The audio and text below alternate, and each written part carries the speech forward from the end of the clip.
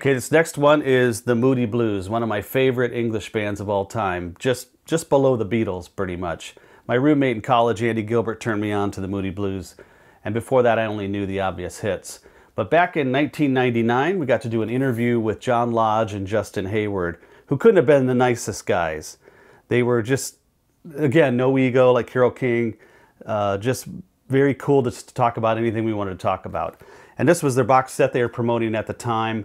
And they also had uh, Strange, Strange Times was a new album they had coming out.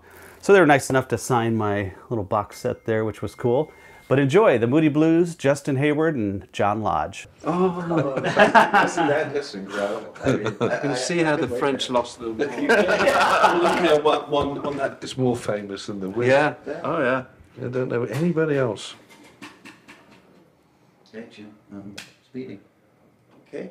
Well, we'll just cut right to the chase if you don't mind, Jeff. And um, talk about the current tour and the new album. And first off, why the name uh, Strange Times?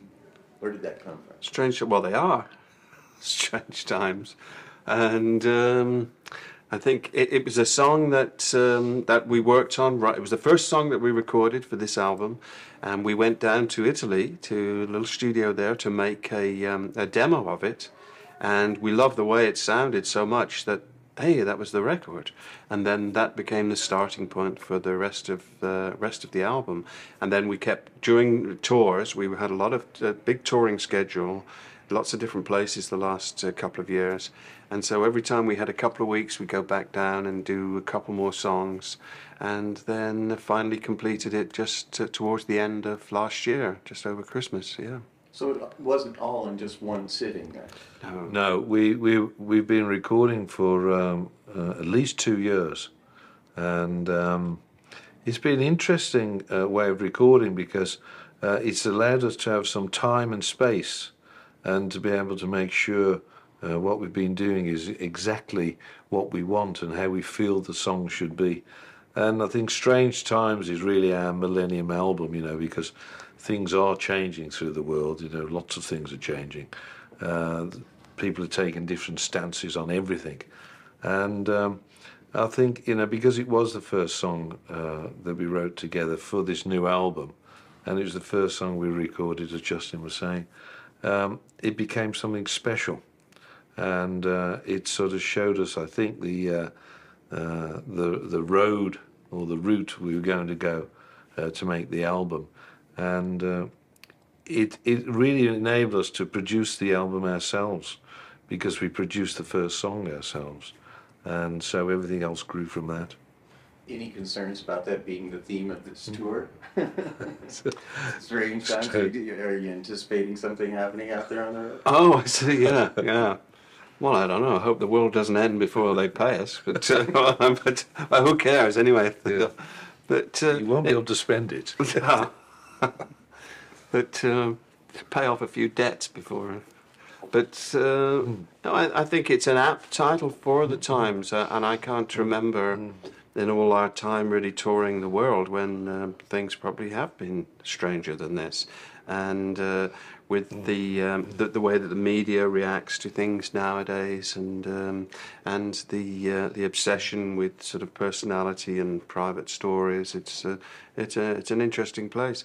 But uh, I think uh, you know that, uh, that that it is a good theme because I think people do recognise that, and um, so that uh, I think it'll be a it'll be a useful uh, theme for us to. We're we're on- we're we're on the road with this album probably for the next year, maybe two years with it, because we really believe in this. It's a very important project for us, the best thing we've ever done, and uh, so. Uh, that's why we're going to stick with it right through into the next, uh, you know, millennium. And the strange times, you know, we are entering the, you know, the year 2000, and everyone is uh, everyone over the last 10 years has come to live with uh, uh, everything working for them. You know, when they touch something, it works. The car door works. The refrigerator works on the basic levels. The computers work, and the telephones, and the bookings for airlines. But uh, you know, suddenly it comes up to, into everyone's face that just a minute, there may be something wrong at the year 2000. You know, the bug may hit everyone. But I think it's that awareness And I think this is what the album's about. You know, it's a, a personal awareness album. And I think when people listen to it and uh, listen to the lyrics, they will see the personal side that uh, I think is really important. I think we're at a stage a lot of the times in life now where people always want an answer or want to apportion whatever it is onto someone else. But really, at the end of the day, it comes back to yourself. Why did it take 30 years for you to finally decide to self-produce your own album? Well, I suppose in a way we've been doing that for 35 years, except getting someone else to take the blame. so uh, that's what one of us, what Tony Visconti always says. Anyway, that who, who we had a lot of success as a producer with. You know, he says, "Well, you always did. You know, it's just that you pin, used to pin it on me for a while, and make him take it home with him and worry about it." And I think that the time was right. We knew what we wanted. We met someone, we met a couple of boys down in Italy, um, one called Danilo Madonia and Alberto Parodi, who ran the studio there. And when we met, when John and I first met Danilo, we realized that we had uh, a way to channel our songs and to make them work. And because because now this is the first album that we've recorded purely on onto a computer, we were able to look at the things we'd recorded. We were look at we were able to sample ourselves. We sampled some of our own sounds. We're still using some of our old Mellotron sounds from the 60s, which are in English Sunset, the first uh, single as well. And and right through the album, there's some uh, older sounds and uh, so it was the first time we'd really done that, and it gave us the flexibility of being able to uh, to to look at things and to just just record in a very different way. Mm. So in in the end, I don't think this time that we needed anybody else's interpretation of our songs. It's time for us to um, put our money where our mouth is and just take that responsibility. Yeah, I mean, when you when you write a song, you know, it's it's. Uh, an incredible uh, personal experience, uh, and the song becomes very precious. And I think you know when you're a teenager and you first meet a producer, um, you want someone else to put their thoughts into it because you you don't know you never know how good it is. You know, as you, from your own self, you know you know you like it, but you don't know if it's any good. And you're always looking for someone else to add things to it. And I think over the years, as as uh, different arrangements are being added to your own songs, you're trying to put your own arrangements in there as well. And sometimes you can get this cacophony where you get the things counteracting each other, you know, on the final um, final song, the how you wanted it. And uh, I think this time uh, the recording is uh, very pure, lots of space. And I think it allows the listener to be able to have their own images of what the song is about. Speaking of when you were a teenager there, um, who were some of your big uh, influences growing up? What was the music types and stuff that you liked and preferred? Me, I like when I was a little tiny kid, I used to like Johnnie Ray. Mm-hmm. And then, uh, but I really found, I mean, the, I found what I was looking for with uh, Buddy Holly, along with a lot of other English kids, really, 1957 and that was oh it all suddenly made sense it was Buddy who sang wrote and mm. played guitar and um, led his own group you know he wasn't a singer out the front Buddy Holly of course and then for us we were swept up mm. um, in at the time with the with the Beatles and the mm. Beatles I suppose were when we when we first started were our leaders in a way and um, they were the most important figures so uh, uh, the, what people what they did, the rest of us kind of followed. So uh, that was it for me, and a lot of other heroes, the Everlys, and taught me harmonies and things like that. I think um, uh, what introduced me to music, I was really not, I suppose, as a musician, I wasn't really uh, interested in, in making music until I saw uh, some of the first American movies that en- came to England, sort of The Girl Can't Help It, which had sort of Gene Vincent and Eddie Cochran, and uh, and these people were in enormous icons. You know, English people really couldn't do that because it's very hard to be uh, this rebel without a cause type person that all these rock and rollers were coming from America. You know, it just didn't work really as, a, as an English person. You became a really a facsimile of what it was. And um, then I think the thing that Justin and I had in common at the time, we both, Buddy Holly came along and showed how to do it as a person, that you could write your own songs. You didn't have to be this huge sex symbol, you know, and uh, this uh, this rebel. And uh, I managed to uh, had the privilege of seeing Buddy Holly uh, perform live when he came to the UK to tour uh, with the Crickets, and that was an amazing experience, you know. And I knew then that's how to do it, and uh, that's what we've been doing ever since. What about some of the recording artists of today? That who do you think the Moody Blues have influenced? Who knows? That's uh, a lot of people ask us that. I don't know. Who knows? I'm not sure that we've directly influenced anyone, but we were part of a um, we were part of a, a sound and a kind of backdrop to a generation through the 60s and early 70s that that is still very powerful, and I, and I hope will never be forgotten because it was a time when music was uh, played such a big part in people's lives, and before it became a, a product or um, something that to that to to sell and uh, so there was an honesty about it then, and I think people will will always recognise that about that time. They weren't having it rammed down their throat. They were able to choose and uh, choose a lot of live music. But I think when uh, we we had a we had a sound and a look about us that still is. Um, that still you, you see in people today and in young people, and because that's the way you look when you when you're young, and you want those uh, those kind of nice clothes and the sort of flowing kind of look that we had, kind of fluid fluidity about the band. So I, I, it'd be very difficult to, to put a name on any one because uh, they certainly wouldn't own up to it, and like like I wouldn't at the time, you know. And uh, but uh, when, when we were younger either, because everyone thinks they're original and unique. But I hope our contributions have been many, you know, particularly in making the album something that was, instead of a group of hit singles and B sides, became something that was uh, 50 minutes of uh, real experience and pleasure. Album. Um, well, in your wildest dreams video, don't you think you guys were really the one that launched the '60s retro with that? I mean, Yeah, Oh. That's great. I mean, Austin Powers Thank owes you. it all to you guys. Is the way I see it. Yeah. We're always Yeah. too far in advance to take advantage of it, though. Whose idea was that? video? Uh, well, the, the idea was in the song. The song was so obvious, and instead of but so many videos that makers that we've worked with, when when we've got the new hip video maker in to, you know, by the record company to do our song, we've always had a song that's been so simple in its story. That's all we're doing. We're telling nice stories, and uh, we've always ended up with something. Oh, we can't do that. It's too obvious. So we'll do something weird, and you're coming down that beach, and uh, but it's nothing to do with that.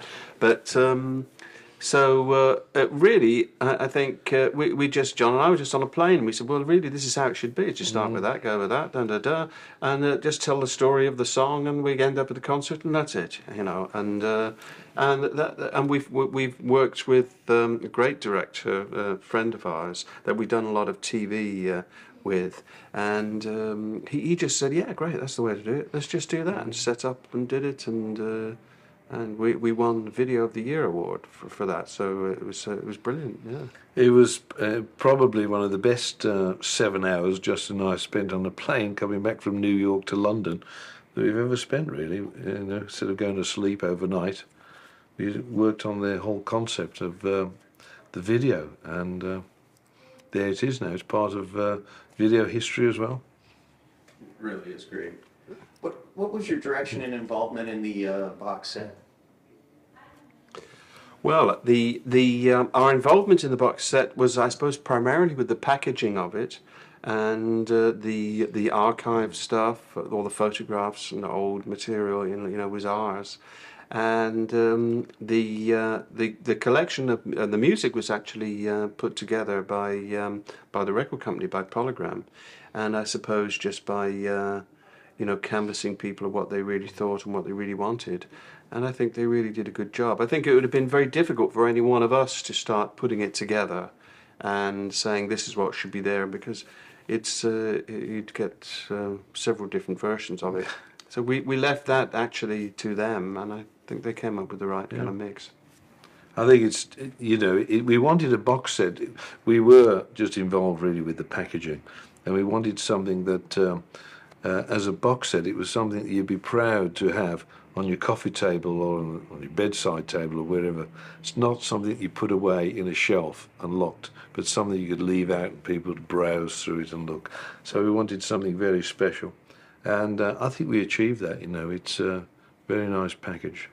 I think uh, also you see it was uh, Time Traveller. The box set was was was compiled by a guy called Bill Lew- uh, Levenson, who is a fan, real Moody Blues fan, and I think that we all recognise that probably the best thing would be a fan's idea of the uh, of what should be on it. So that's why we left it as it was. How is it that you think your music stands the test of time? And, and two part kind of a thing here. And, and what is the appeal for the new fans that are hearing the Moody Blues for the first time? And, and really, actually, just loving you guys. It's got to make you feel great. But how, how's that work? I I mean it's it's a difficult question really because uh, it's probably you'd have the answer to the philosopher's stone if you knew what it was because you could then tell everyone else how to do it. But I think uh, if there is a secret, it's that you have to go back to the very beginning, and we got together to make our own music, to write and perform our own music, and we've kept truthful to that from you know from the mid '60s. And today we still, that's exactly what we still do. We don't accept anyone else's influence. We don't take anyone else's songs. It's just down to us. And uh, I think uh, the audience see a truthfulness in that. And I think they can relate to what we're doing. And I think um, someone who's 20 years old today can relate to a song that we wrote when we were 20 because it was truthful then. So if it was truthful then, it has to be truthful now, and um, only the time changes. Five minutes, Jeff. Well, I think uh, that um, that the songs that we made when we were young se- seem to be uh, relevant to the young people now. I think those issues of, that, that are in uh, that are, are, concern young people are still the same. So I think they respect the music that we did then, and so many young kids that I know discover the Moody Blues from our earlier music. I think um, that the strength, our strength is in our songs, and that uh, we're we're a group of songwriters uh, that. Um, that that is the most powerful thing that we have, and uh, the, you know we all learned back in Tin Pan Alley in the '60s that uh, if you've got a song, you've got you've got a record, and if you haven't got a song, you've got you've got nothing. You know, you got a backing track, but what can you do with it? So um, I hope that since the since the Red Rocks um, concert that we did with the Colorado Symphony Orchestra, then that show has brought a lot of our old fans back. They thought, oh, it's okay to come and see them again now, and um, we're we're very lucky to have the following that we have, and I know we've got a long tour in front of us, probably till till the end of the year. And I know we're going to meet a lot of people that we've seen many times over the years who always come to see us. And we're going to see a lot of new faces because of the music on Strange Times, because of the orchestra, because of a lot of different things. The um, it's, it's quite interesting. We you know we have uh, our offices in England and we and we run uh, uh, we get a lot of mail from people all over the world, and we've been getting a lot of mail quite recently over the last two years from Generation X's. And the first time it arrived, I said to uh, uh, my secretary, I said, what's a Generation Xer? You know, because it was, you know, quite an anomaly. But it's quite interesting to see how people are writing of 23, 24 years of age and talking about our music. And uh, you can't even go back to when they were born because even that was only halfway through the Moody Blues career, you know. So there was something different that they've latched onto. So uh, uh, we're not too sure what they've latched onto either, to be honest. You know, but it can only be, I would think, you know, the the truthfulness that's in the music and our our relating to the same um, hopes and dreams and despairs that everyone else has. You know, there's so many other things I wanted to talk to you about, but real quickly, if I could just ask you, uh, and if you could maybe just uh, paraphrase my question into your answer. What's it like playing Las Vegas? um, well, we we started playing Las Vegas when it became kind of okay to play Las Vegas. Because we went we went there once and and I saw um, not to play, but I saw Neil Young playing at Bally's, and I thought, oh, it must be all right now. Cause I thought that's okay. And then they had a lot of country acts as well. And um, w- it- over the years, um, the uh, the people at Caesar's Palace have been very, very good to us, and they they they were just a great organisation to work for, uh, kind of old established and uh, very friendly and real old kind of show business. So it it was almost a selfish thing on our part, I think, because we felt so good and always had such a good time there and felt so comfortable. And the last five or six years, we've seen Las Vegas kind of turn round into being a family kind of place and some, something somewhere where a lot of people now want to play. They're queuing up to play there. And uh, but uh, the Caesars have always been faithful to us as well, and you know said that we can come back at any time. And it's great for our fans. They love it that we're in one place for a certain number, of spent amount of time, and we've we've enjoyed it very much. And I think for us as well, you know, we, we really started in England when we started to have some success we moved out of the clubs. We started to play in theatres in England, you know, 2,000 seat theatres, and that's where you performed in England and in Europe. And I think, uh, you know, playing in Vegas, because you've got a huge stage but a very small audience, it's it's a very quiet um, position to be in. You know, a, you know the sound, we, and we can concentrate on getting the harmonies right, the vocals right, uh, the, the, the uh, arrangements right, and it really is sort of for us going back to being in the theatres in England, and you really can at some stages, though, because we do rock songs as well. But I mean, you can on the ballads, you can actually do hear that pin drop, and you know when you can hear pin drop, you've got those two thousand people with you all the way. Just real quickly, Les, is there anything, uh, any new projects, films, videos, books, paintings or anything? What's in the future for you guys? Well, I think there's a lot of stuff around this tour and around the gigs that we're doing, and uh, we're hoping to do um, a couple of televised shows during the next few months. And really, uh, our focus is on um, promoting this album, uh, obviously because it's so important to us, and touring around it. We're touring back in the United Kingdom again um, early next year. And so, uh, at the at the moment, our, our minds are just fixed on this project. Yeah, to- total focal attention on uh, strange times, you know, because it, it is important to us, and uh, you know we have been working with it for two years, and it's you know very precious. I think Tim just needs you Right. to do a couple of uh, tosses or something for, this is for airline entertainment. Okay. You could look right in the lens, one Yeah. to say, uh, hi, I'm Justin, Yeah. uh, John from Moody Blues. Uh, thanks for flying with us today. okay. You can do right into the lens, that would be great. Hi, I'm Justin Hayward from the Moody Blues. And I'm John Lodge from the Moody Blues, and thank you for flying with us today. Good. And another one I'm getting on recently is Princess Cruises. Oh yeah. So if you Oh, could say yeah, something yeah. about that. oh, they come round my way. They go around the Mediterranean as well. uh, what, I can, Well, I'll do what, that. what, what, Hi. I'm Hi. gonna wing it. Here we go. Okay. Hi, I'm John Lodge of the Moody Blues. And I'm Justin Hayward. Oh, the, I thought you were going to say something. Well, you just said Moody Princess Cruise. I thought you were going to say you Oh, I thought come you were by, gonna do by that. my way. How about a bon voyage? Oh. We a very Oh, okay, that's a good one. your Yeah. Yeah. Hi, I'm John Lodge. And I'm Justin Hayward of the Moody Blues. And we, sorry, go do it again. Hi, I'm John Lodge.